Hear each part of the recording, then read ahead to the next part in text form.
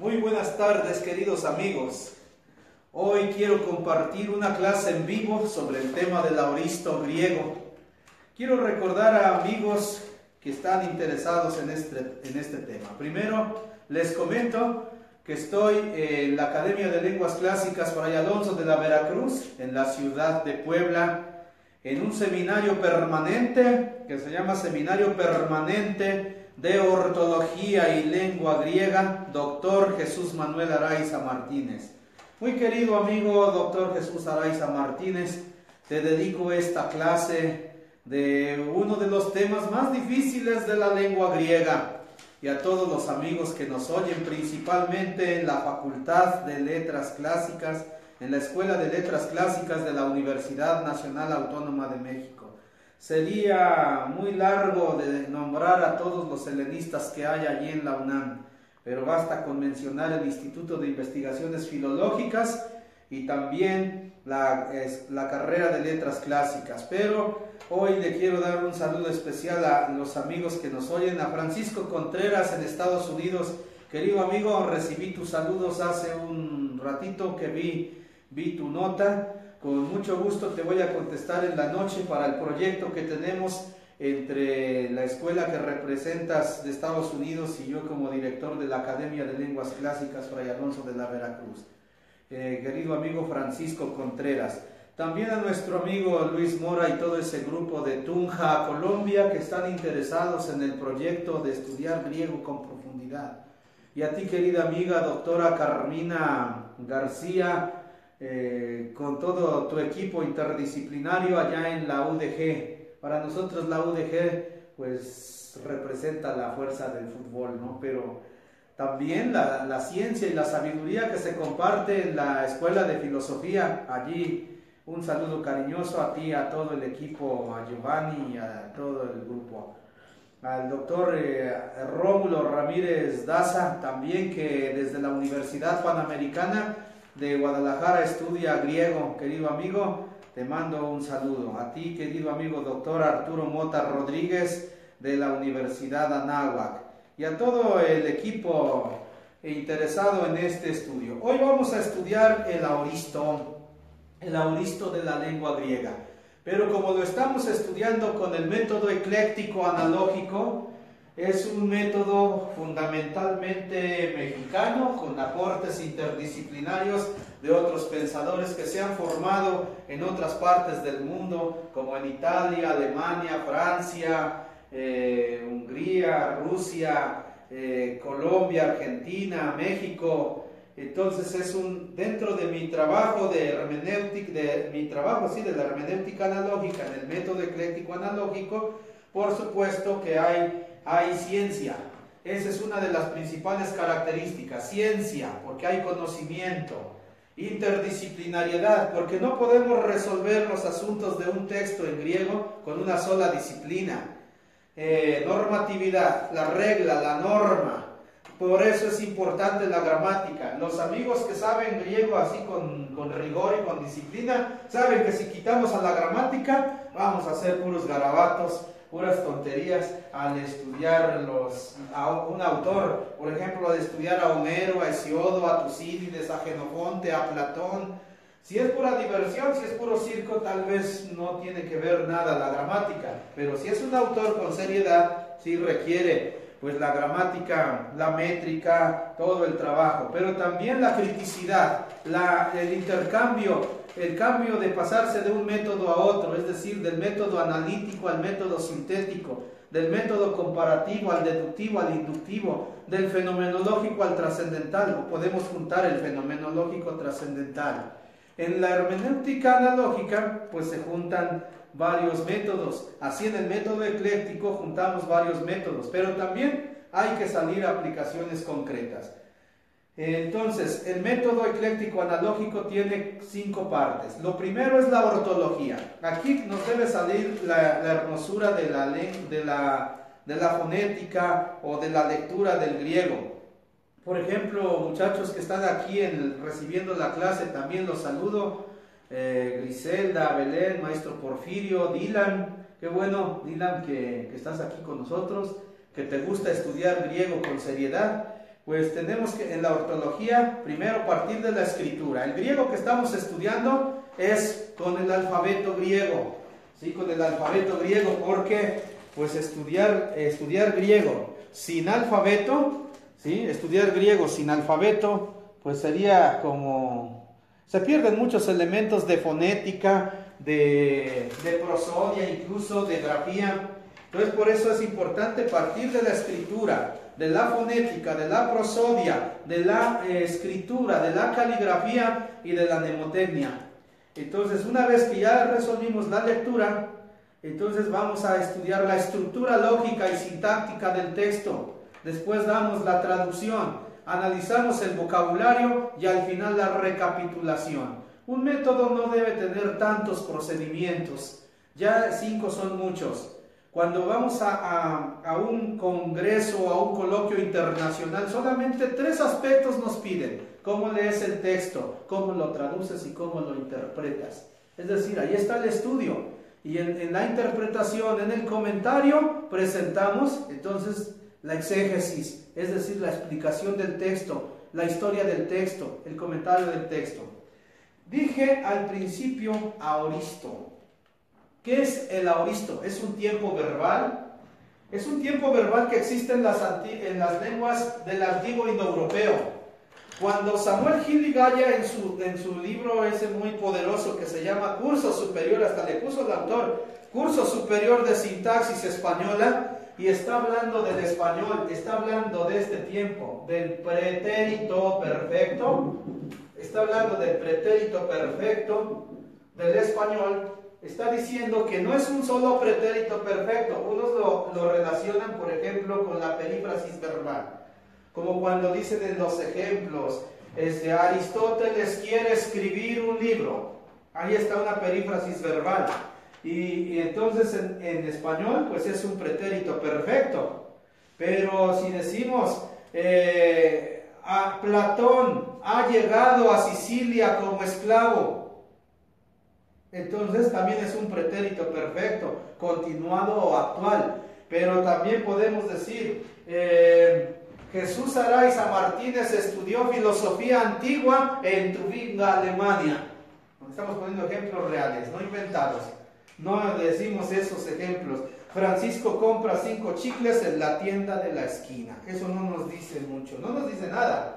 Pero entonces hablamos del pretérito perfecto absoluto. La acción se acabó y punto. Es un eh, y entonces Samuel Giligaya, en el libro de curso superior de sintaxis española, editorial Vox, nos dice, relaciones el pretérito perfecto del español con el pretérito perfecto del latín. Y resulta que el pretérito perfecto del latín es un tiempo compuesto. Por eso va a tener en, en latín los radicales por ejemplo, de amavi, de abui, ¿sí? abui, o de lexi, lexi, o de audivi, audivi, y va a tener las desinencias i, i, isti, id, imus, istis, erunt, o también ere, así en, latín. Si yo digo, este, por ejemplo, en latín, feci quod potri meliora potentes faciant, que lo ponemos en español, feci, de facio, facis, facere, feci, ise, ise, feci, fecisti, fecit, fecius, fecistis, fecerunt, fecere. Es decir, hice lo que pude, quien pueda, que haga las cosas mejores. Magister non pensum feci, quia me dormivi maestro, no hice la tarea porque me dormí. Ahí está, se oye bonito, ¿no? Magister, ahí podemos poner, Magister Porfiri, non pensum feci, no, eh, no hice la tarea, quia me dormí, porque me dormí. Ahí están los perfectos. Deus creavit terram et coelum. Ahí están los perfectos el pretérito perfecto. Pero cuando nosotros, pero también Samuel Gildigaya insiste que hay que relacionar, si hay que relacionar entonces el, el pretérito perfecto el pretérito perfecto del español y el pretérito perfecto del latín con el auristo. Y la palabra auristo es una palabra griega, auristos, auristos, que tiene la, la alfa privativa que significa sin y el verbo jorizo. El verbo jorizo que significa jorizo significa delimitar. Entonces la palabra oristo ya etimológicamente significa sin límites. Es un, es, un, es un tiempo, es un verbo ilimitado porque es un verbo. Y entonces como verbo tiene sus accidentes gramaticales, persona, número, tiempo, voz y modo. Y entonces el auristo es un tiempo verbal. No se había escuchado entre las lenguas modernas entre las lenguas modernas un auristo. Las lenguas romances no tienen auristos. Lo que más se parece es por el latín pretérito ¿qué? Pretérito perfecto. Entonces, pero en la lengua griega el auristo no es de una sola forma. Por eso vamos a encontrar, según el, según el sufijo que andamos llamando, siguiendo a, mi maestro Enrique Serraima Silisi, para los que nos escuchan en otras partes de la República Mexicana, en, en México también, hubo una, hay una universidad donde hubo grandes maestros de griego. La Universidad Pontificia de México, allí existió y dio clases el padre Enrique Serray Masidisi. Había tres maestros muy duros para enseñar griego y bastaba tres maestros para toda una universidad. Me refiero al padre Enrique Serray Masidisi, es historiador, al doctor eh, Carlos Esati Estrada, que era biblista y que era eh, filólogo, porque se doctoró en letras clásicas y se doctoró en sagradas escrituras. De modo que dominaba el griego del Nuevo Testamento y Antiguo Testamento, y por otro lado dominaba desde, desde Homero hasta Heródoto, ¿sí? hasta Heródoto, un, un gran filólogo.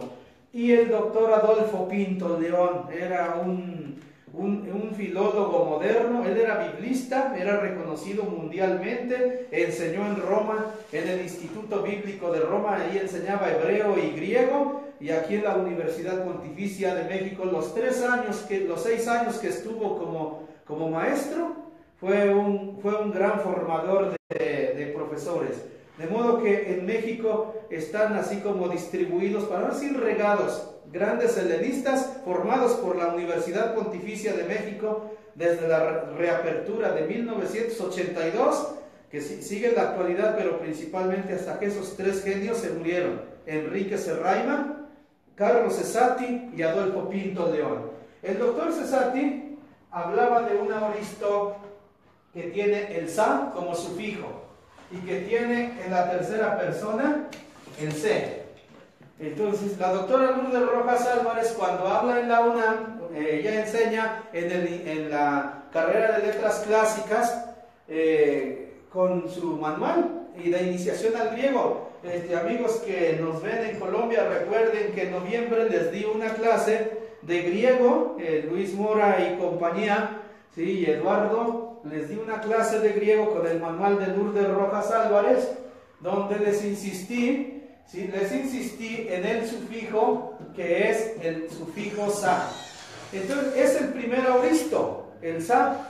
Entonces, los, los, los auristos, Enrique Serraima nos hablaba de las desinencias que tienen los, los tiempos, los auristos y los otros tiempos secundarios. Tienen mi, sigma, tau, tiene men, tiene T y tiene tau. Entonces, eh, vamos, el, sufijo es la característica propia del tiempo. Por ejemplo, los tiempos eh, secundarios que son, ¿se acuerdan? Eh, pretérito que imperfecto, aoristo y pluscuamperfecto tienen la ni, sigma, la tau que, se pierde en, la conjugación de verbos, la desinencia men y la desinencia T y al final ni tal, que se pierde también la tal. Pueden coincidir los tiempos imperfecto, eh, auristo o pluscuamperfecto en la terminación o desinencia, pero se distinguen porque va a tener sufijo. Por ejemplo, ahí en el, texto 259 de nuestro método, 259 de nuestro método, que, ¿o qué es? 258. La fundación de Atenas. ¿Es 258? Bueno, entonces lo, lo voy a leer en griego, lo voy a leer aquí en México, si nosotros decimos, cuando oímos esa palabra, lo voy a leer inmediatamente, causa risa, ya saben por qué. Porque un político de la educación dijo leer, ¿sí? Pero bueno, no lo hacemos famoso internacionalmente con en una clase de griego.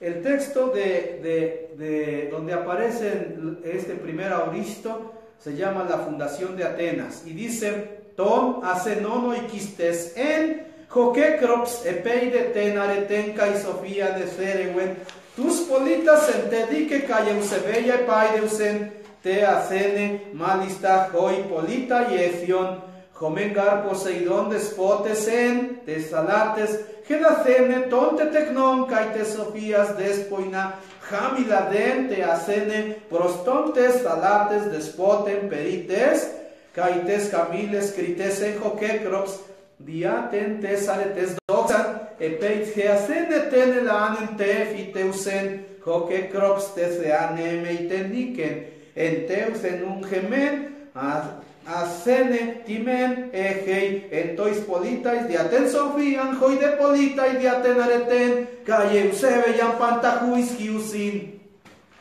Vean este, este hermoso texto de, de, de, de, del método ecléctico analógico que lo hemos tomado de un método en inglés que se llama Elementary Greek Translation. Es un, es un método eh, que está enfocado a enseñar griego bíblico, está publicado por la Iglesia Bautista. Pero me pareció interesante para comenzar el, el auristo primero, que se llama simplemente auristo, que tiene, los, que tiene el sufijo sa. Allí, por ejemplo, vemos, vemos el verbo, a ver, ayúdenme a encontrar un auristo en este texto. En este texto encontramos el auristo epaideusen. Miren qué bonito verbo. Lo, lo, encontramos allí.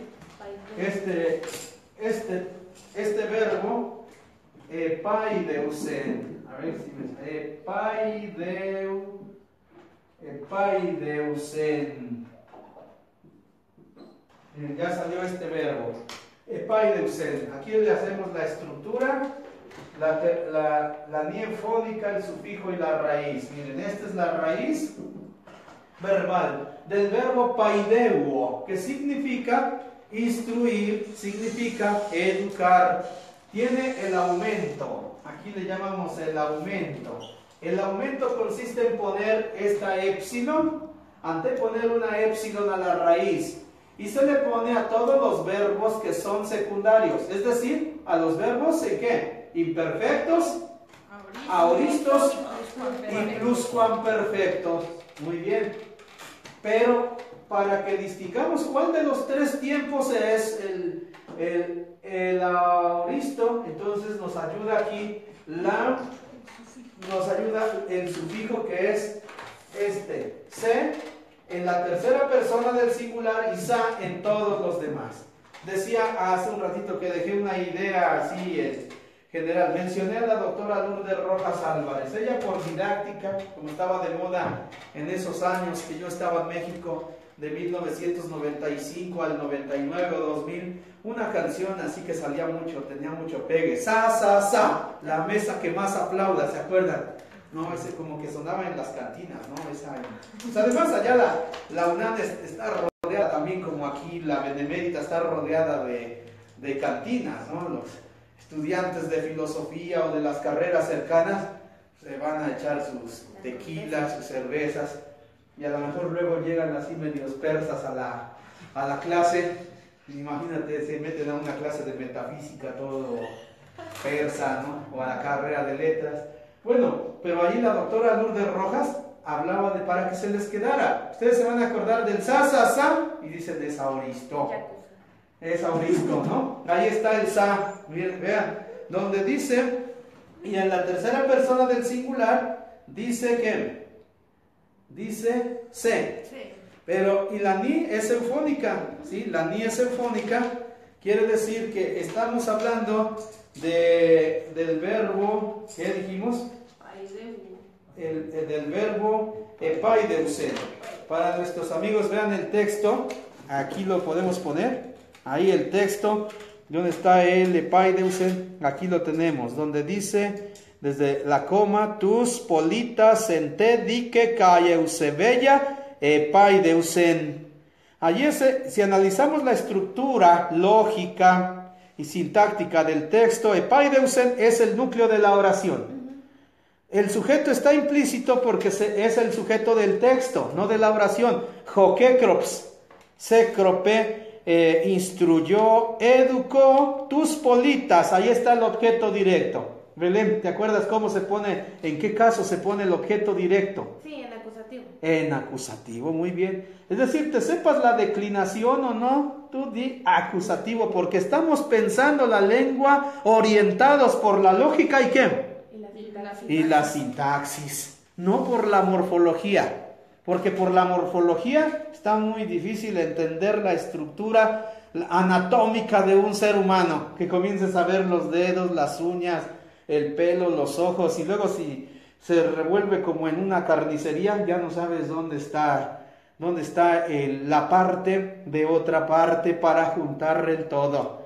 Entonces, decimos, eh, en el núcleo, tus politas el objeto directo, en te di que calle ya, como está en dativo y tiene precedida, ¿qué? Una preposición. Una preposición, ¿qué función le ponemos, Griselda? Complemento circunstancial. Complemento circunstancial locativo. Vean la preposición en. Esa preposición nos ayuda a entender la declinación, porque de entrada tú ves la preposición Griselda y ves inmediatamente que se trata de qué? De un complemento circunstancial. De un complemento circunstancial. La doctora Lourdes Rojas avanza mucho en su manual cuando te da la definición. Te dice que complemento circunstancial dice allí que es persona, cosa o animal que señala que una circunstancia en la acción. Entonces lo que, lo que nosotros le agregamos, en vez de decir persona, cosa o animal, que eso es el ejemplo, ¿qué decimos? Estructura, Estructura sintagma o función. Y vean, y queda más bonito, estructura, sintagma o función que señala una circunstancia en la acción. Y ya vemos los complementos de circunstanciales de qué tipo. Aquí este de qué tipo sería? locativo, podría ser locativo o también instrumental de modo. De modo que podríamos decir esta oración, tus politas, que Eusebe y Epaideusen, instruyó a sus ciudadanos en la justicia y en la piedad. Ahora, la primera parte del texto que dice, Tona y quistes en es una oración que se llama sustantiva ¿qué? Copulativa. Copulativa. Hoy cuando se habla de este tipo de oración, vean amigos que ven esto, el texto, es la primera parte del texto. Tona senono y quistes en Ahí está. Es una oración sustantiva. Hoy no se puede comprender esta oración sustantiva si no estudiamos junto con la gramática parte de la un poco de ontología. Aunque no sean ustedes todos de filosofía, pero ya después de estar escuchando estas clases de gramática aquí en el método ecléctico analógico, ¿sí? entonces ya saben que la ontología es la ciencia que estudia qué? El ser. El ser y cuántos, en cuánto ser y todo lo que de suyo qué? Le corresponde. ¿no? Y ahí estamos tomando directamente el libro que Gama. El, libro Gama de Aristóteles, que se llama ese libro Metafísica. Vean, entonces, el, centro de la filosofía para la, filosofía clásica es el ser. Y por lo tanto, la primera oración es la, oración que tiene el verbo einai, el verbo ser. En latín el verbo esse. En alemán el verbo sein y en todas las lenguas, en español el verbo ser, porque es la oración que, que se debe comprender en primer lugar.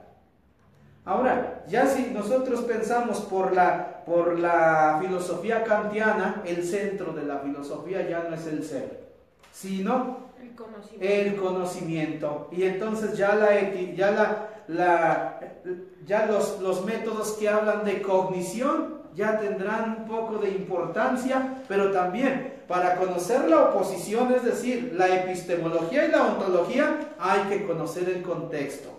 He escuchado maestros que hablan de los métodos cognitivos y entonces se ponen en un plano meramente así imperial y dicen a descalificar, sin conocer el contexto de ahora que se viene la política, ya que representas la izquierda, pues tienes que conocer bien la derecha, para que no pases por imperial.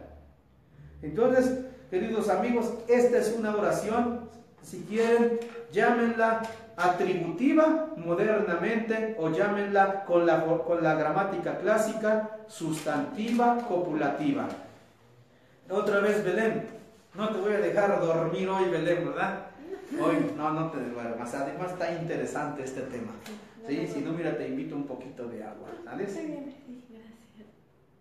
No es cierto, no se está durmiendo Belén. Belén es mi consentida. ¿sí? Entonces ven Belén para que te conozcan. Bueno, vengan todos para que vean lo, quienes están aquí conmigo en la clase. No estoy solito hablando como un loco.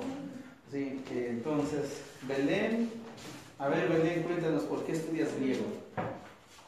Estudio griego primeramente porque me gusta y porque creo que es, eh, no, más bien es una de las, bueno, yo la considero el papá y el latín la mamá de las lenguas romances, germanas y eslavas. ¿Te gusta estudiar griego aquí en, en la academia? Sí. ¿Por qué? Porque no sé, aparte de que los maestros están muy preparados, se siente el cariño, se siente la, la, motivación, la formación para que tú no solo estudies esto porque estás en una carrera que está muy relacionada con filosofía, lingüística, sino porque te llena la mente de sabiduría y eso tú lo puedes compartir con los demás. ¿Tú crees que yo te motivo, Belén, para estudiar lingüística? Sí, desde que tengo nueve años. Eh, ¿Sientes que me opongo a ese trabajo o, o lo fortalecemos? Lo fortalecemos. A ver, ¿quién está también aquí conmigo? Griselda. Griselda, ¿te gusta estudiar griego? Sí. ¿Y tú por qué? Bueno, ¿qué estudias? Yo estudié filosofía en la Universidad Autónoma de Tlaxcala y ya me titulé. Y para los que nos ven en otras partes del mundo, ¿dónde ubicas Tlaxcala? ¿En el centro de la República, en el sur o en el norte? En el centro de la República. En el centro de la República Mexicana. Estamos aquí cerca de, de Tlaxcala. ¿Cuánto tiempo de Puebla? Como a una hora. Una hora. Entonces ahí está la UAT, para los que no la conocen. ¿UAT qué significa? Universidad Autónoma de Tlaxcala.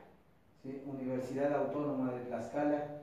Muy bien. ¿Y por qué estudias griego, Luisela? Porque en la universidad nos dieron, este, digamos, algunos cursos de griego y me gustó mucho porque me hizo entender más la filosofía, especialmente Aristóteles, que quien me gusta, pero en general entiendes más la filosofía. Bueno, pues felicitas al maestro que te enseñó griego, porque gracias a, a ese maestro tú comenzaste a llegar acá a la escuela porque recuerdo que una vez fui a dictar una conferencia que me llevaron allí a esa universidad y allí llevé a mi maestro, al doctor, todavía podía caminar bien mi maestro, y allí nos tomamos una, una fotografía y les dije, aquí está su abuelito de ustedes, porque tu maestro fue mi, mi alumno aquí en la academia, sí. allí está el, el trabajo. Y tú, ahora, eso te sirvió para llegar a mí. Y mi trabajo te sirve para llegar a Araiza, al doctor Jesús. Así es que, amigo Jesús Manuel Araiza Martínez, eh, acepto el curso de latín que me invitaron a la, a la UAM, a la Universidad Autónoma.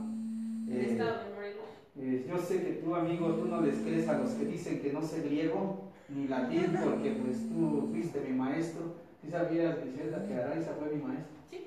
Fue mi maestro en la Universidad Pontificia de México. Él estudiaba la licenciatura en Ciencias Políticas en la UNAM. Estaba cerca del doctor Pedro Tapia Zúñiga y de otro, del doctor Carlos Cesati Estrada. Eh, y de allí pues me inspiró también a ese grupo de maestros. Araiza, siendo un hombre muy joven, eh, le metió duro a los, a los grandes helenistas. ¿no? Pero tengo también aquí al maestro Porfirio Tepox. ¿no? A ver, envíales un saludo a todos, amigos. Ah, pues también un saludo a todos los amigos y seguidores de la academia a través de las redes sociales. ¿Te imaginabas que algún día ibas a entender auristos? Pues yo creo que al inicio, como no, no los tenía en la mente, ni me imaginaba, ¿no? Ya después, con el estudio, pues se fue haciendo un, un hábito y un reto entender los auristos, porque no son tan sencillos. El maestro, Hablar del aurismo. el maestro Porfirio es, es, es un milagro para el mundo científico porque, porque viniendo de la escuela de biología, ahí nunca les hablan de auristos, de auristo primero, segundo, tercero, o de oración subordinada para escribir bonito la biología. Pero, pues mira, caíste aquí en esta academia y ahora eres un magíster que es profesor de náhuatl, de griego, de latín y de morfosintaxis comparada, más la maestría en historia. ¿Y ahora qué te gustaría estudiar? Pues adelante algo sobre los estudios mesoamericanos, continuar con el estudio de los códices y la relación con la naturaleza, flora, fauna, este, toda la parte de la ecología. Pues, no te separes del doctor Justino Cortés, es uno de los nahuatlatos más grandes que tiene nuestra nación, ¿sí? de la misma altura que el León Portilla, que Patrick Johansson y de lo que fue don Joaquín Galarza. Sí, pues ahora el, jueves regreso a mi escuela de biología a dictar una ponencia sobre una revisión de nomenclatura de pues flora, fauna, lo estoy haciendo desde el griego, desde el latín, desde el náhuatl. Ya se pone interesante porque reconoce uno muchos elementos con la lengua de los mismos animales y las plantas a mayor profundidad. El- un ejemplo muy bonito que me encontré, el, el canis familiaris, el perro. Sí, el perro de la familia, porque pues la familia le resuelve el hambre al perro y por eso está ahí con Ah, pues en fa- fames en latín, fames, es hambre, sí, quiere decir hambre y está relacionado bien con el concepto familia. familia, Entonces nuestro concepto moderno de familia es, eh, me refiero al nombre, ¿sí? nuestro concepto moderno de familia lo andan diciendo ya otro- otra cosa, sí, que ya no tiene que ver mucho con el fames de latín, ¿no? sí, pero sí es, y no como el gen ¿no? del griego, del indoeuropeo, ¿no? de ahí viene la gens que hablan el derecho. ¿Quién más está aquí con nosotros? ¿Usted cómo se llama? Inocencia Flores Hernández a sus órdenes. Hola a todos y pues yo estoy muy sorprendida porque creo que, o sea, yo quiero aprender griego y veo que no sé nada. Ah, Sí, ustedes saben mucho. Pues yo un día llegué, así un día llegué así sin saber nada y dije, ¿qué están haciendo en este salón? Me dijeron mis compañeros. Estoy hablando de ese primer verano de 1988. Estamos estudiando griego. Me dijeron así, hasta como en burla. Estamos estudiando griego. ¿Qué? ¿Poco no te sabes el alfabeto? No. Yo, pues fíjese, usted va, lleva más ganancia. Yo no, yo no me sabía el alfabeto. Nunca había escuchado la palabra alfa y yo ya había escuchado, porque no vivía en Puebla, si no me dirían, vete a la alfa 1, a la alfa 2, ¿no? ¿Y qué es eso? Son centros deportivos. Sí, yo no había escuchado, o sea, allá en los cerros de Tlachichuca, yo no iba, no iba a escuchar alfa, beta, gamma, mucho menos alfabeto. No, pues, los maestros pues no, no nos ayudaban en mucho. Yo tuve una maestra de primero a sexto, la- y yo creo que hizo mucho la maestra Teresa Gómez Aguilar, porque nos daba todas las materias ella sola. sí. Y de primero a sexto, pues no había tantas escuelas, no había tanta oportunidad.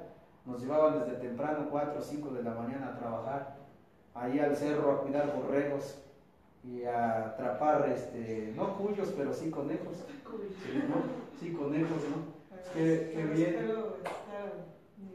Pues la, la felicito y qué bueno que vino a este seminario. En este seminario generalmente leemos griego. Esa es la primera lección que hay que aprender bien, a leer griego. Y lo hemos observado cuando hay coloquios nacionales o internacionales. Vienen profesores aquí, se ponen a leer el, el griego y se oye bien bonito cuando están diciendo en griego. A ver, Griselda, dinos un texto en griego. Mm, Hosper, Protagoras, Elegen, Legon, Panto, Gematon, Metro, Neina y Anthropon. Kosara, Joya, Menanemoy, Faineta, Itapragmata, Eina, y Toyauta, Menestinemoy, Joya, Danzoy, Toyauta de Sol. Este texto hasta lo puedes bailar y es de Platón. Lo, puede- lo puedes bailar, ¿no? Le pones música de Los Ángeles Azules o de los estos de, de Colombia, ¿cómo se llama esa muy movidona? La Sonora Dinamita o de los Tigres del Norte. Y le vas buscando, ¿no? Hosper, Protagoras, Lego, Panton, Germaton, Metro, Neina y Anthropon. Kosara joya menane moy faine taita pragmata eina ito yauta menestine moy joya dan soy to yauta de soy. ¿No hasta puedes cantar? ¿No? Sí se puede cantar. ¿no? Si luego en la iglesia no se escucha el Kyrie eleison, es griego. Sí, ahora tenemos a Dylan. ¿Cómo te sientes, Dylan, aquí en la academia? Ah, pues, eh, en primer lugar, eh, pues muy, muy agradecido y muy bien acogido acá. Eh, es un muy buen ambiente que se respira acá. bueno, estudio filosofía y mi primer encuentro con el griego antiguo fue gracias a la filosofía. Noté que el griego antiguo tiene, bueno, un, un significado enorme. Las palabras en griego tienen un significado enorme y mucho de nuestro lenguaje culto del español y casi de la mayoría de las lenguas romances provienen del griego. Y bueno, es, es impresionante todo lo que se maneja. A mí me da gusto porque pues tan jóvenes.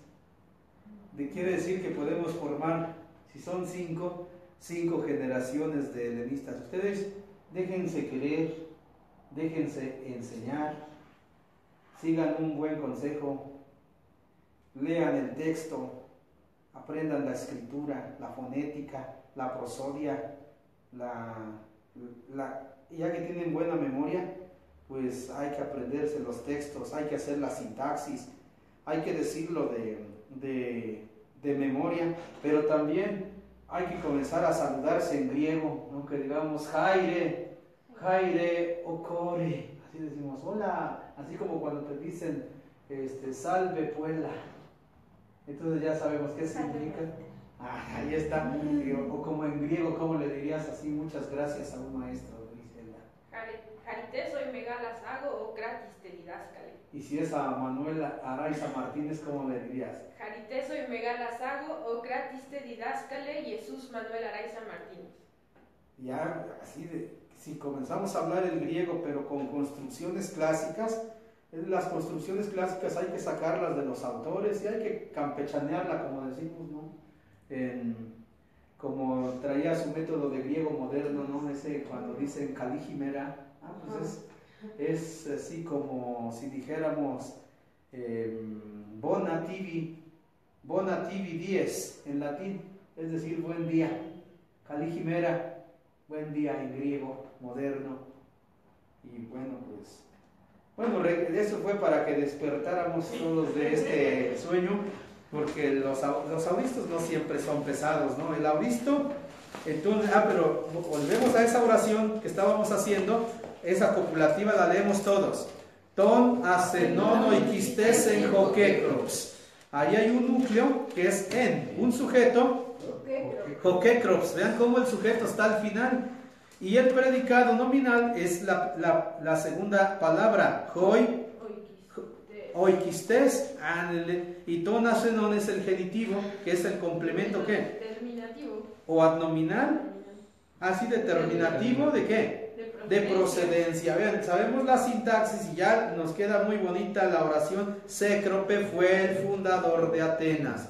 Epeide tenka y Sofía Necerewen y después de que Ecerewen, ahí está otro verbo secundario, buscaba con afán, que Tenaretenca y Sofía, ¿sí? la virtud y la sabiduría, ahora sí con el auristo, Epaideusen, instruyó, ¿qué? tus politas. Tus politas a los ciudadanos en la virtud y en la piedad. Y luego dice, te da cene, malistajo y polita yesion. Otro, un imperfecto los ciudadanos se sacrificaban mucho por Atenea. Eh, y este texto está, eh, tiene otro, otro auristo, pero me gustaría ver otro texto un poquito más difícil que tenga auristos. Está hermoso el 262. El 262, lo leemos todos. A ver. Megale neige timena sene sin Hekai tono maedo que te polei, ei pondejoti ectes que pales tu patros autes tu Dios excelce. Caicos, hasta ahí, e, ese, hasta ahí dejamos ese, ese texto muy hermoso tiene allí el, donde dice Megal, Neige, Timena, Cena. Ahí está la primera oración. Una oración es la oración principal.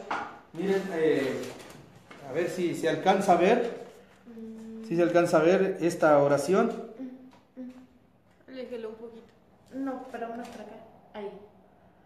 Ahí. Está el verbo eige. Es un verbo en imperfecto. Ya cuando uno entra a un texto real, nos encontramos con los seis tiempos del griego. Los tres primarios que son presente, futuro y perfecto. Y los tres secundarios que son imperfecto, auristo y pluscuamperfecto. Entonces aquí tenemos el verbo eige y lo ponemos, como es un verbo conjugado, ya entonces estamos hablando de sintaxis. ¿Qué, oración, qué, qué función le damos a un verbo conjugado? Núcleo de la unidad. Núcleo de la unidad sintáctica. Busquen el sujeto de la oración. ¿Qué hace? ¿Qué hacen? Ah, vean, hasta el final de, de la oración, ¿cómo se llama este giro que tienen los textos clásicos? El hiperbatón, lo que ha perdido la lengua moderna. ¿no? La lengua moderna se aleja cada, mes, cada vez más del hiperbatón. Del hiperbatón. Si nos piden en un examen internacional, a ver, a ver, este, ¿qué cosa es el hiperbatón? Nosotros estamos preparados para una respuesta con definición. Porque no es lo mismo poner un ejemplo, no es lo mismo incluso decir la etimología que decir la definición. Por eso, en el método ecléctico analógico, ¿en qué sentido somos platonianos? Porque nosotros defendemos qué? La etimología, el origen de la palabra. ¿En qué sentido somos aristotélicos? En la definición. En la definición, con la lógica y la ontología. ¿En qué sentido somos alejandrinos? En el ejemplo. En el ejemplo. Entonces, funciona la etimología, funciona el ejemplo y funciona la definición. El hiperbatón es la figura retórica que consiste en la alteración del orden lógico de las palabras en una oración o en varias oraciones dentro de un periodo determinado. Por eso, muchachos, les pido, graben mis clases. Porque como hablo muy rápido, y no es fingir, sino toda la vida es así, les, hablo muy rápido porque hay mucho conocimiento aquí, y además mi carácter así de... Pero, eh, pero sí a veces, aunque no traigan grabadora, con que capten la idea general. ¿Cómo le haces, Griselda, para apuntar con, cuando oyes así rápido? Pues voy haciendo varios apuntes y en todas las clases, como repite tanto, pues lo voy armando poco a poco. O a veces lo grabo o a veces pregunto a mis compañeros. Yo recuerdo que hace, hace ¿te acuerdas, maestro Porfirio? Cuando teníamos ese grupo de latinistas, la treceava, venía Miriam de la UNAM Vino, fueron como tres años que todos los sábados vino de la UNAM. Y un día todos estábamos ahí metidos, ¿te acuerdas que traducíamos latín con el método de, de Julio Pimentel Álvarez? Unos iban 500 ejercicios, unos 1000, otros 1500, unos nada más 100, otros 50, otros nada más oían, ¿no? Y, y Miriam de momento se emocionó. Miriam, si nos ves, ahí te mando el saludo. Se, dice, felicítenme, échenme porras. ¿Por qué? Porque por fin acabé de, apuntar la definición de hiperbatón. Digo, a ver, ya la notó, estaba bien emocionada, porque terminó la definición de hiperbatón. Dice, yo ya había entendido que es el hiperbatón. Ya sabía, ya sabía la etimología de hiperbatón, pero me faltaba la definición. Sí, la definición. Nosotros que somos maestros, no podemos reducir la enseñanza a ejemplos. No podemos reducir la enseñanza a etimologías, también a definiciones. La definición no es aproximación. La definición es socrática. La definición es aristotélica. Por lo tanto, es el realismo como y no es y no es un error, es una teoría. Querido amigo Araiza, tú dime si no esto que estoy diciendo es una teoría. No es un error como lo plantean algunos. Es una teoría. O sea, el error es que te descalifiquen con Heidegger, con Nietzsche, con Freud, con Marx, con San Agustín, con Santo Tomás. Sino para eso en la filosofía es el argumento.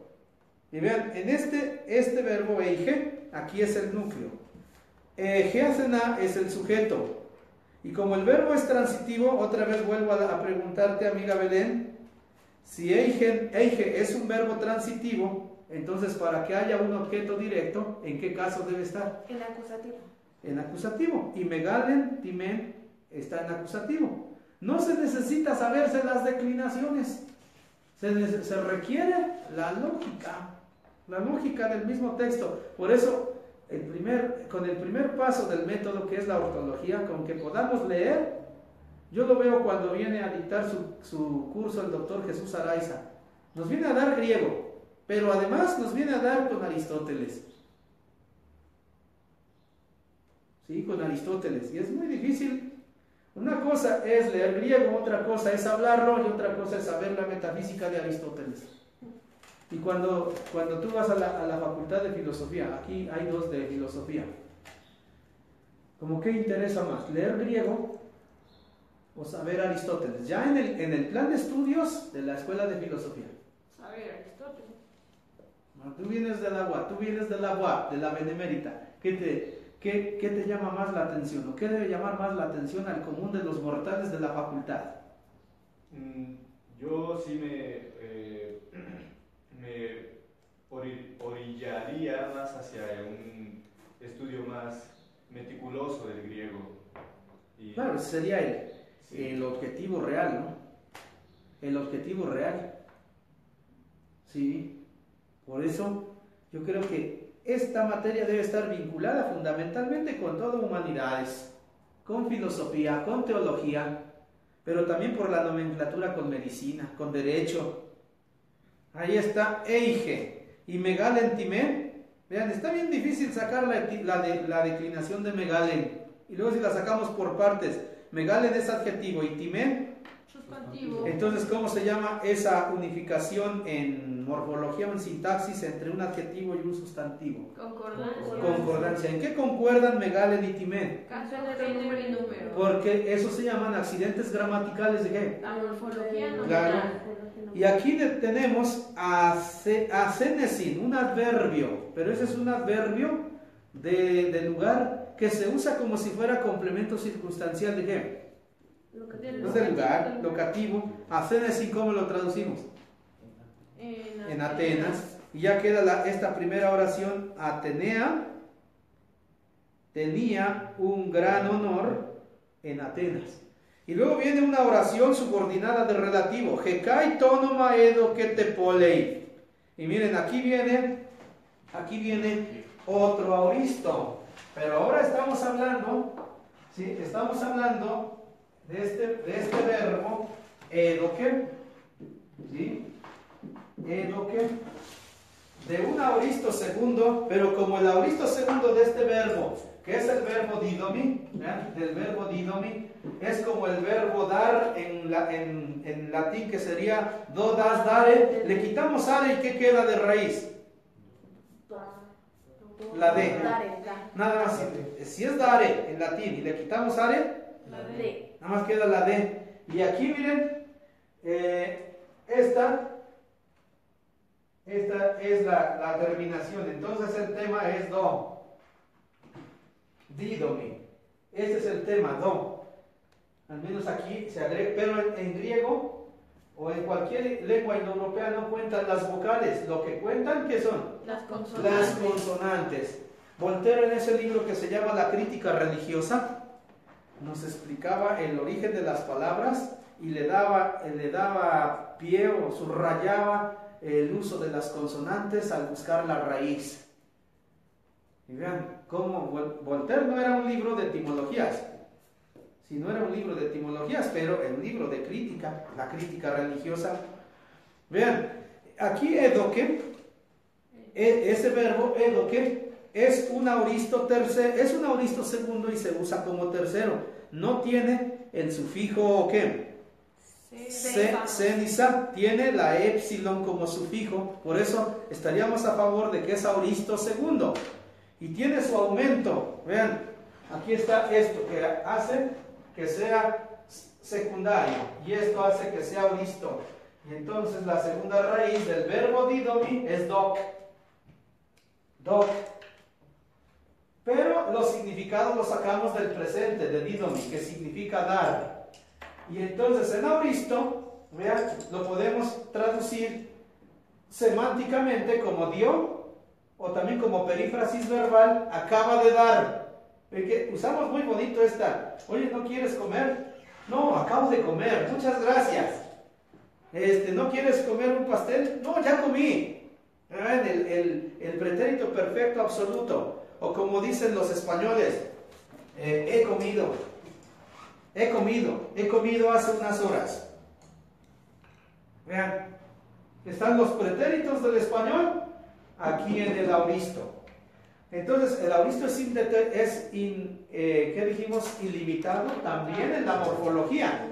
Porque hay auristos primero con el san, hay auristo segundo con la segunda raíz y con el sufijo. O sea que desde el sufijo, este es auristo segundo. Pero, pero como no se usa la tercera persona del singular en auristo segundo, los gramáticos lo han puesto como auristo tercero. ¿Sí? Y entonces, aquí en la sintaxis, estamos en, esta oración. Jekai tonoma edo que te pole. Edo que, si es un verbo conjugado, ¿qué función le vamos a dar a edo que? Núcleo de la unidad. Núcleo de la unidad sintáctica o de la oración. ¿Y el sujeto cuál va a ser? Dio, tiene que ser el mismo de, de la oración anterior. Ah. Ah, pero aquí hay un pronombre relativo. El G. El G. Entonces ese va a ser el sujeto. Pero se va a llamar un sujeto qué? Subordinado. Subordinante. En un texto real ya vienen las cuatro oraciones subordinadas, que son la primera circunstancial, la segunda de relativo, la tercera completiva de infinitivo y la cuarta es la de participio. Y aquí tenemos ya el sujeto. El kai aquí funciona como un adverbio. Se llama adverbio en morfología. Pero en sintaxis, ¿qué le vamos a llamar? Modificador. Modificador. Y, y luego viene toónoma. Toónoma. Miren, aquí viene un problema del griego koiné. El griego clásico no cometería este error que tiene este texto. Aquí lo voy a poner, miren. Toónoma. Toónoma.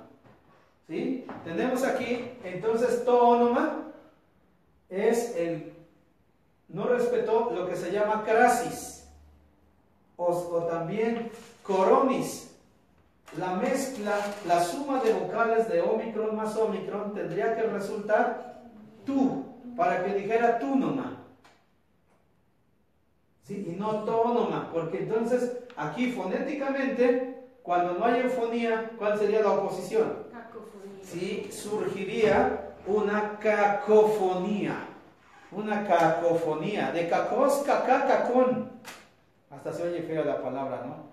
Cacos, cacá, bueno, ese es un apellido, ¿no? Un apellido portugués o griego, cacá.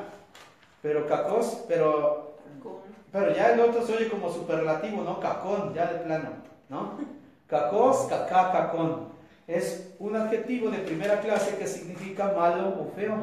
O sea, de ahí viene cacofonía. Tónoma allí es un acusativo. Pero como es neutro, pareciera nominativo también. Tónoma, en nominativo se dice tónoma. En acusativo se dice tónoma. Y en vocativo, ónoma. O. Pero tendríamos confusión en dos. El, aquel que quiera traducir o comprender un texto desde la morfología no va a poder porque le va a faltar el razonamiento. Mientras que si pensamos por la sintaxis, la sintaxis se ve más, más hermosa, ¿sí? la sintaxis se ve más hermosa y nos queda entonces como objeto, como objeto directo, ¿sí? o como qué, o como predicado verbal y nos queda entonces tónoma, el nombre, ¿no? Para decir, pues eh, Atenea, quien también dio su nombre a la ciudad, Aquí está, quien también dio tónoma, su nombre. Tepolei, ¿en qué caso está tepolei? Hemos aprendido en latín que después de un verbo transitivo se pone un acusativo y después del acusativo, cuando son verbos de, de dar, de proporcionar, de entregar, de conceder, viene un qué? Complemento. Complemento Un indirecto. complemento indirecto en caso que Dativo. dativo. Y queda, y queda muy bonito esa construcción tepole. Dio a la ciudad también su nombre. Y queda muy bonita ya la oración. Atenea, quien también dio su nombre a la ciudad, tenía mucho honor en Atenas. Y luego dice, Ei pondejoti ectes que fales tu patros autes, tu Dios excelce. Aquí aparece excelce otro auristo. Los auristos que más se ocupan son los auristos segundos. Entonces, el auristo segundo, ¿cómo lo vamos a construir? Primero, con la segunda raíz verbal. Por supuesto que también con la gramática moderna se puede estudiar griego. Desde el momento en que existe ese, ese lema de Belén, todos los caminos van a Roma, ¿qué quiere decir? Que hay un solo camino para llegar a Roma y entonces la palabra camino es método. Camino en griego se dice jodos. Jodos. Jodos. Y, la, y esa raíz se ocupa para decir método. Meta lo vamos a traducir como meta. Y jodos, camino. Y etimológicamente método, el camino Para, para llegar a la meta. El camino para llegar a la meta. ¿Sí?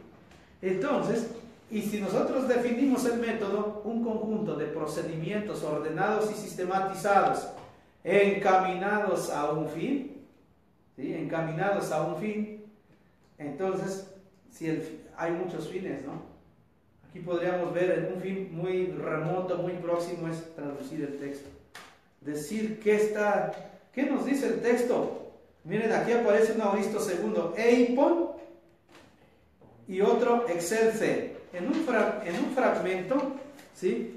Corto. Vean así, eh, a ver si se puede ver, eh, Belén. Otra vez me dirigen. Mm, ¿Sí? ¿Se ve el texto? Ahí está, eipon es un auristo segundo. La raíz es eip. Tiene su aumento y se suma epsilon más ei es igual a ei. Y tiene la omicron, que es el sufijo del auristo segundo. Y eso nos, eso nos dice, esa omicron es, son los mismos sufijos que usa el imperfecto, pero con la raíz segunda. Y la ni es la tercera persona del plural, porque perdió la tau, vean, se quedó solamente esta ni. Y entonces ya ese verbo eipon ya tiene los cinco accidentes gramaticales del verbo. Tercera persona plural, auristo, segundo indicativo, voz activa del verbo lego. ¿Ven cómo entre, entre lego, entre estos, entre el verbo lego y el verbo eipen o, e- eipon no se parecen. Vean, ¿en qué, le encontraríamos? Entonces, por eso es muy común que en gramática clásica se hable de verbos polirrisos. ¿Sí? Los que explican con gramática estructural simplemente van a decir, no hay irregularidad, son estructuras. Bueno, como método está bien, como efecto está bien, como evolución de la lengua está bien, pero como, pero si le hacemos así con los niños, sí, pero yo quiero entender por qué. Sí, porque no sé si ustedes en otros países tengan niños de 5 años, de 7 años estudiando a Homero o estudiando a Platón, pero pues nosotros aquí tenemos niños chiquitos, ¿no? Como Jesús, como Linda, chamaquitos que todo el tiempo están preguntando, ¿y por qué cambió aquí? No le podemos decir así, ah, pues porque así es. Como cuando se presenta el problema de la H. O sea, ¿por qué los alemanes la aspiran? Ah, porque así es. ¿Y por qué entonces en español la, la enmudecemos? Porque así es. Esas respuestas no convencen al niño. Y esas respuestas no convencen a un estudiante que de verdad esté estudiando una carrera por amor, a la ciencia, por amor a la cultura. Tal vez por el papel, pues, ah, lo, que lo que importa es el papel, ¿no? El título, el grado académico, no el conocimiento. Pero resulta que aquí en la, a la academia vienen por, por amor a la cultura. Incluso hay, hay gente que nos dice, maestro, este, se perdieron cinco minutos de la clase, no nos van a devolver los cinco minutos. Ah, ojalá si pidas allá en la facultad de letras, en la UNAM, en la UAP, en la UAT, ¿no? que el maestro llegó cinco minutos tarde o diez minutos tarde, que le digan al, catedrático de, de ortología, maestro, como usted llegó en esta semana 10 minutos tarde, más 15 de hoy, más 15 de lunes, entonces nos debe 45 minutos. Y le preguntamos al señor rector de la Benemérita Universidad, ¿nos van a devolver esos 45 minutos de clase que tuvo el profesor de economía, o el de medicina, o el de biología, o el de psicología, o el de lingüística? Qué bueno. Pero a nosotros sí nos aplican la ley de Rhodes. Pero claro, cuando ya se van, van viendo este, la labor de, esta, de este trabajo, se van volviendo más humanos.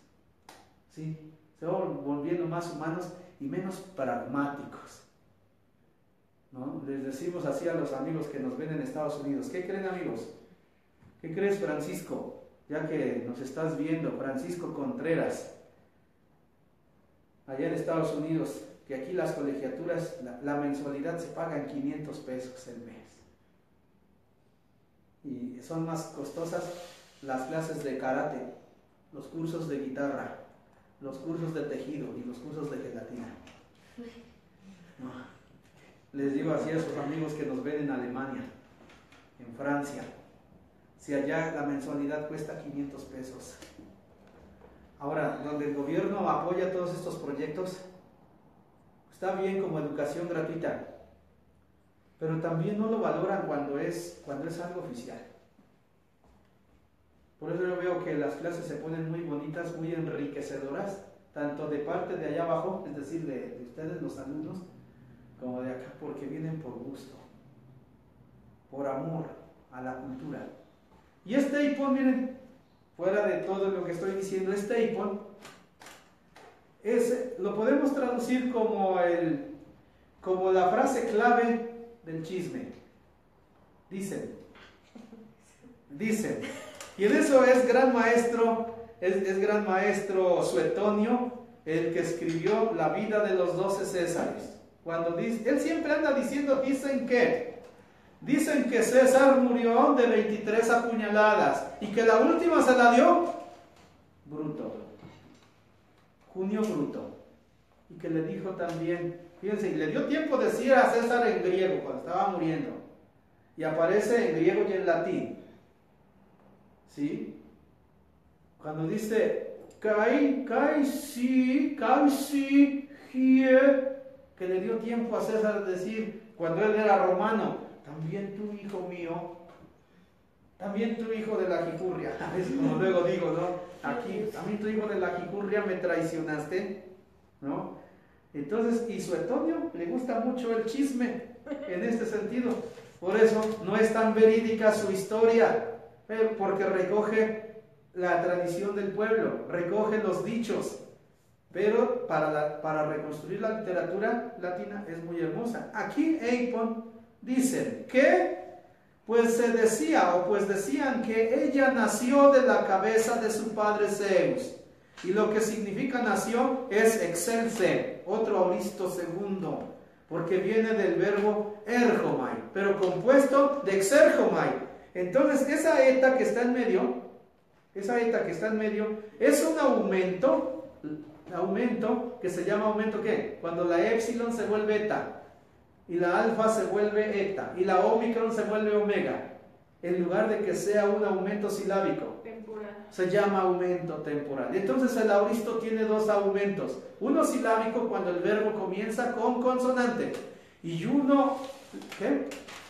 Temporal. cuando el verbo comienza con qué? Con vocal. Con vocal. Cuando el verbo comienza con vocal. Y entonces aquí es un verbo compuesto de preposición ex y el verbo ergomai.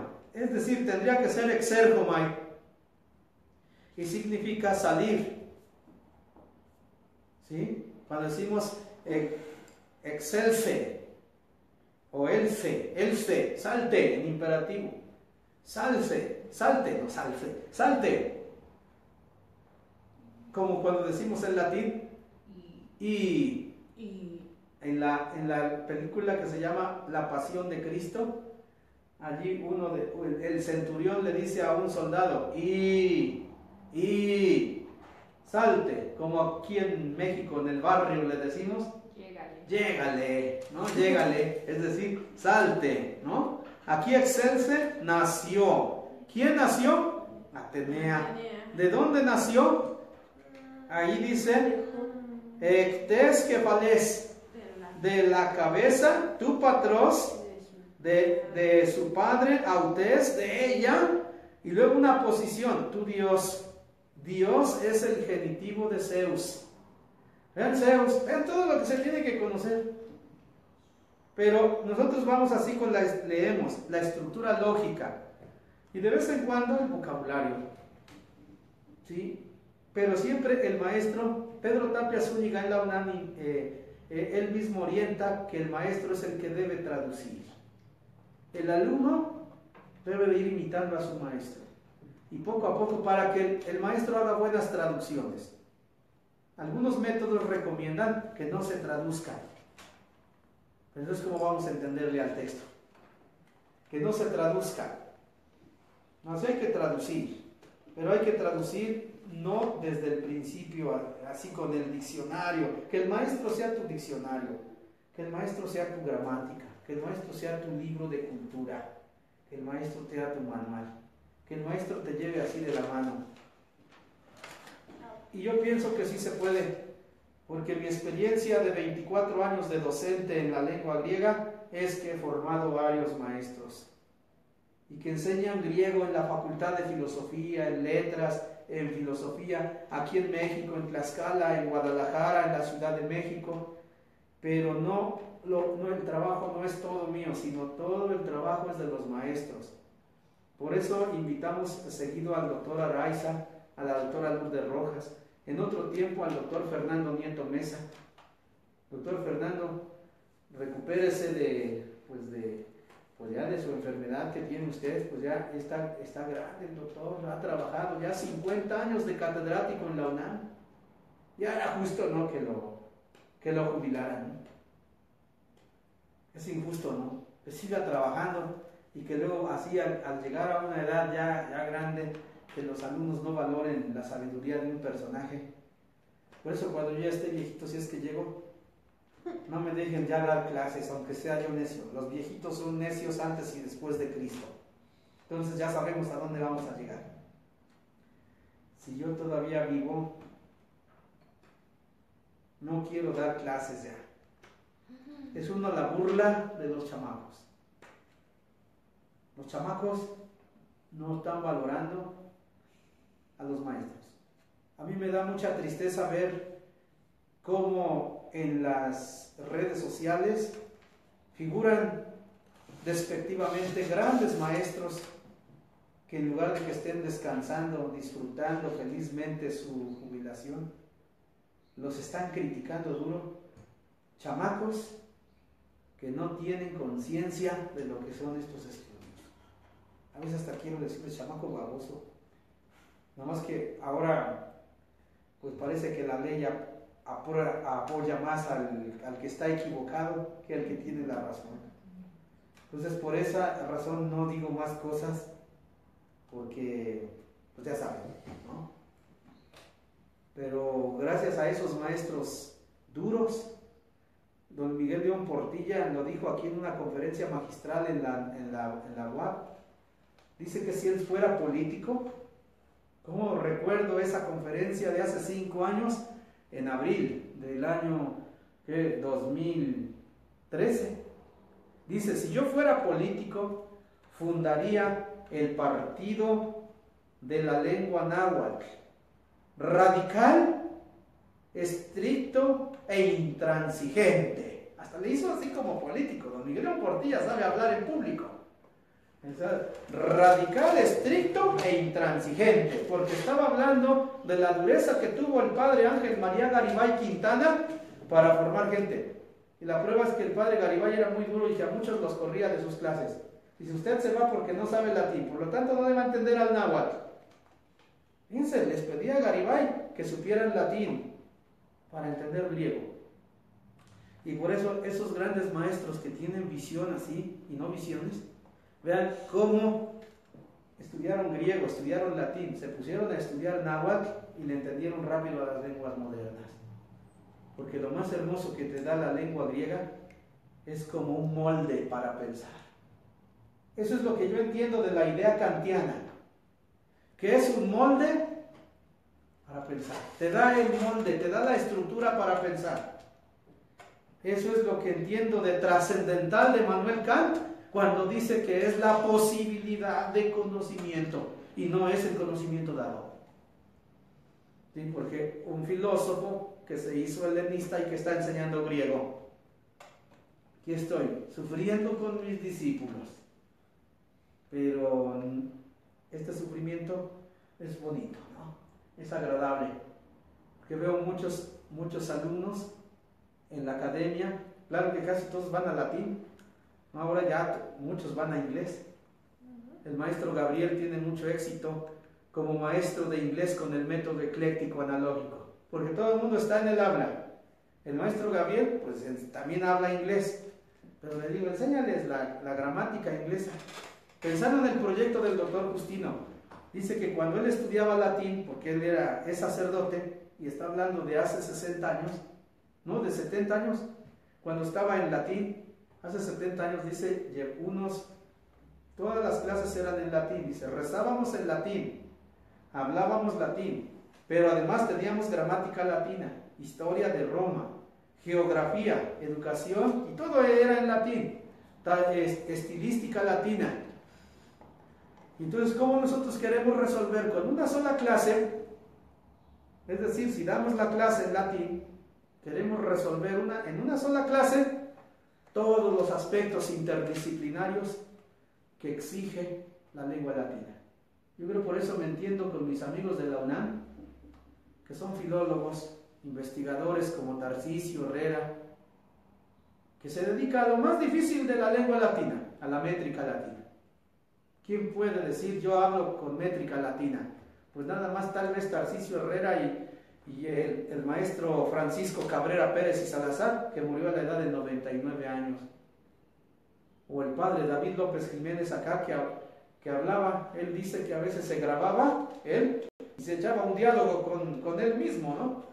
Porque dice, es muy difícil hablar latín de una forma como Horacio, como Virgilio, me dijo un día el padre David, mira Juvenal, si un día aquí a Virgilio, a Ovidio y a Horacio, ellos mismos no se entenderían.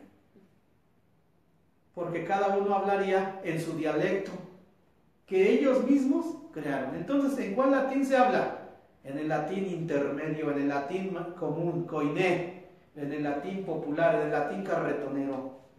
Pero ¿quién se puede gloriar? Le dije al doctor Tarcisio, ¿usted habla como Horacio? Dice, no, nadie. ¿Usted habla como Virgilio? ¿O a los que hablan griego? A ver si nosotros aquí en México que hablamos español hablamos como Sor Juana. ¿Hablamos como Cervantes? No, ni a palos. ¿Pero le echamos ganas? No. Leemos el texto. Y bueno, miren, ya, ya para para cerrar así este pensamiento lo leemos en griego y ponemos su versión y hacemos la recapitulación. Decimos todos, megare leiget imenas edes singea kai tono maedo que te pole, ei pondejote tes que fales tu patros autes tu Dios excelce. Atenea, quien también dio su nombre a la ciudad, tenía mucho honor en Atenas, pues se decía que ella nació de la cabeza de su padre Zeus, Atenea, así como portaba una lanza en la mano derecha, así también un escudo en la mano izquierda para la guerra, y sobre su yelmo posaba una lechuza, ya que esta ave era el símbolo de la sabiduría, y Atenea era la diosa de la sabiduría. También Para Atenea, Odiseo era el más querido de todos los hombres, así como suele presentarse en la Odisea de Homero. Este último fragmento dice, Jos Geurein Palestin en Tejo Odisea, Odisea, tu Homeru. Ahí está Homeru. Entonces, ¿por qué se escribe con H la palabra Homero?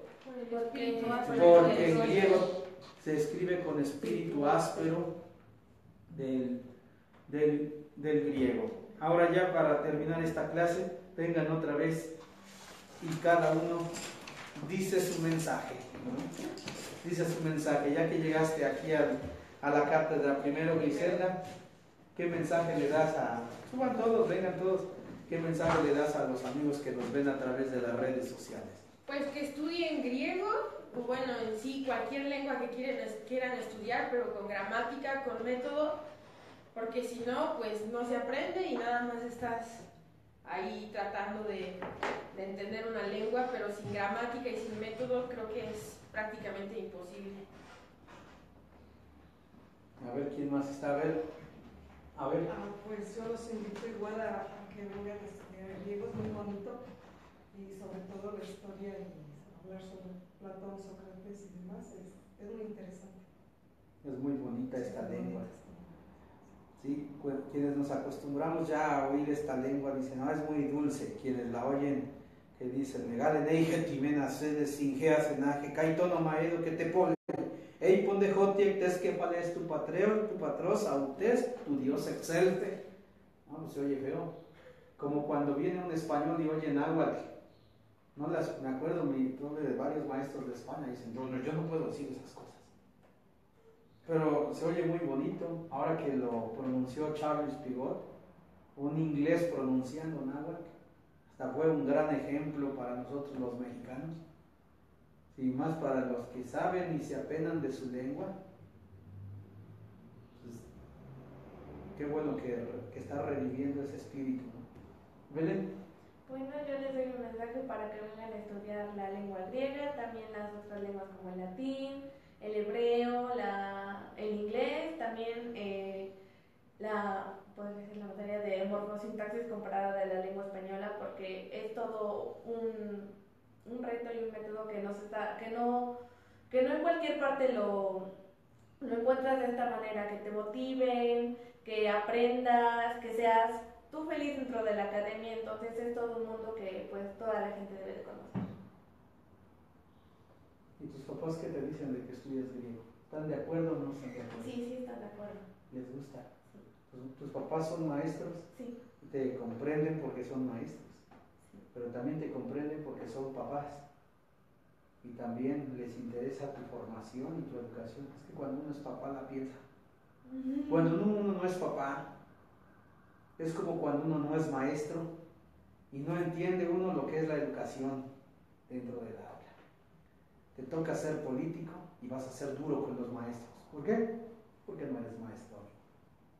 Porque no sabes que aquí en el aula pues se requiere muchas cosas, hasta desde lo elemental, que luego las escuelas públicas no tienen una escoba, no tienen un recogedor, ¿cómo se llama?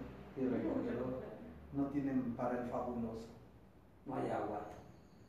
Eso es lo elemental de allí. Ahora lo elemental de acá, un pizarrón por lo menos a la antigua, un escritorio, una cátedra, pero todavía más pudimos saber no tener eso, pero con que haya maestro, con que haya alumnos, y con, ¿te acuerdas maestro? Y con que haya papel y lápiz, listo. Suficiente, y con un poquito de agua para echarse un, un vaso de agua y tener las energías. ¿Tú, Magister? Porfirio? Pues igual a los amigos de las redes sociales que estudien las lenguas, ya sea latín, griego, náhuatl, hebreo, y ahora pensando en este nuevo proyecto que, que se está dando en la academia con el fin de, de mejorar nuestro español. Ya llegamos a construir con los cuatro maestros la materia de tronco común que estamos lanzando a la Universidad de México. Un, capítulo es hebraísmo y arabismo, al revés, ¿verdad? Arabismo y hebraísmo del español. Ese es el proyecto del maestro Roberto Carlos Pagón Carreón. Y luego el otro proyecto es griego eh, y latín del español universitario. Todo el lenguaje culto. Esa sería mi, ese sería el capítulo que yo voy a dar, griego latín.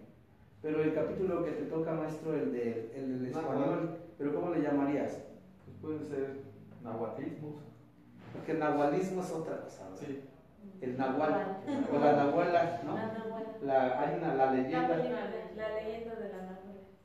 No, eso ya se oye diferente. ¿no? Es otro tema. Y hay mucho náhuatl dentro de... Ese es el español que se desconoce en España, Sí. el, el, el náhuatl, pero en nuestra zona, pero también en la zona de Michoacán está el, el purépecha, que los españoles decían tarasco muy despectivamente, por la zona de Chiapas, de Mérida y toda esa zona, es Así el. Yucatán, el maya.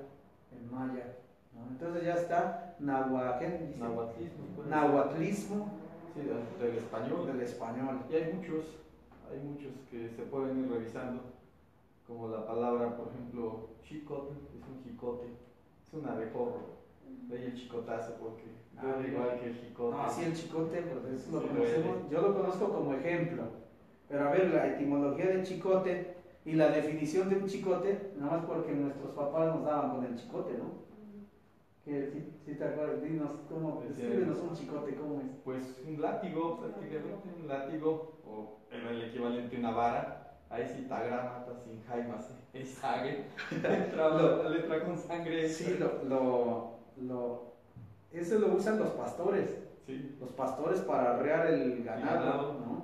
Pero también los papás, cuando se enojaban con uno de que no se levantaba uno a las 5 de la mañana a trabajar, nos daban con el chicote. O como la palabra cochino, ¿cómo la explicó? Cochi- cochino, que es el verbo cochi, que es dormir, y de ahí pues hay derivaciones de cochini. Cochini ya es el que duerme, el dormilón, también puede ser el que duerme o el dormilón. Y de ahí pues de cochini pasó a cochino, es el que duerme. Al ver los mexicanos a estos animales que están durmiendo todo el día, pues seguro le decían cochini, cochini, y pasó a cochino. Cochino. Yo te- conozco una niña que cuando estaba chiquita decía cochino peludo.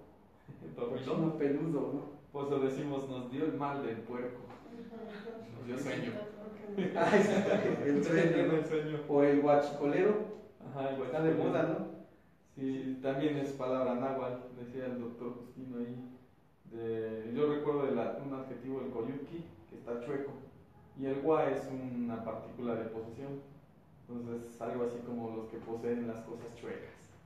Por ejemplo, esa etimología, ¿a poco no se podrían acercar a nosotros los que están así de diputados, de senadores, que están persiguiendo guachicoleros? Pues siquiera hay que, vamos a ver de qué se trata, ¿no? No nada más el puro ejemplo, guachicolero, y hasta dicen la zona, ¿no? La zona guachicolera. Y yo vivo por esa zona, yo nací, el doctor Justino dice que yo nací por esa zona, Sí. yo nací, te digo, sin embargo, no soy guachicolero, porque no me dedico a las cosas torcidas. No, me dedico a las cosas derechas. Aquí en la academia, pues formar, educar, instruir, enseñar. No es fácil, ¿eh? No es fácil. Estoy acabando en esto. Mucho. De donde más me he acabado es de del estómago. Dando clases cansa mucho. Y también, pues canas no me salen muchas, ¿no? Muchas, pero ya debería, debería tener muchas. Porque unos dicen que, que, que son canosos porque estudian mucho. Yo debería tener la cabeza blanca, pero no. ¿Quién más está? Yo. A ver.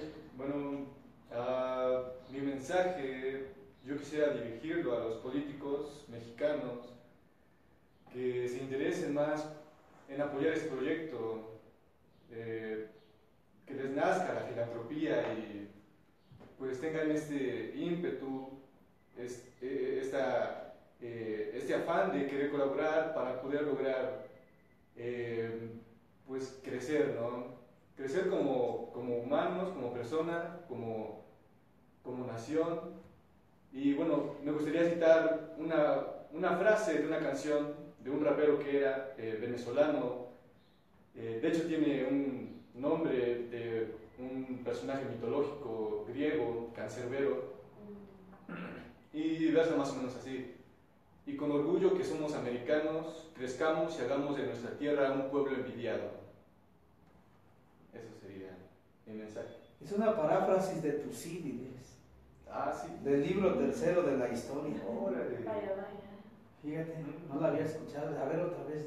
Sí, eh, y con orgullo que somos americanos, crezcamos y hagamos de nuestra tierra un pueblo envidiado.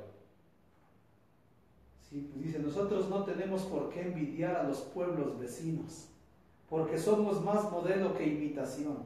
De forma de gobierno somos una república. A los vecinos son, de- son monarcas. Sí. eh, y a- vamos a meter en el método ecléctico analógico ese texto, me acuerdan después para meterlo aquí. Y uno que me acaba de mandar el doctor Araiza de, De la ética nicómaco. Sí, Está hermoso, ¿no? De, ahora que venga al- el 21 de abril el doctor Araiza, le vamos a decir que, que nos recite ese texto en griego y que nos dé la traducción a todos. Ya nos las mandó, ¿no? Pero En vivo. sí, y ya este, que estamos, estamos, vamos a inaugurar una, una, una nueva maestra, ¿no? Griselda, Ey, siéntate aquí en mi cátedra. voy. Mira. ¿Cómo te sientes, Griselda? Ahora sí, diles, diles unas palabras a nuestros amigos.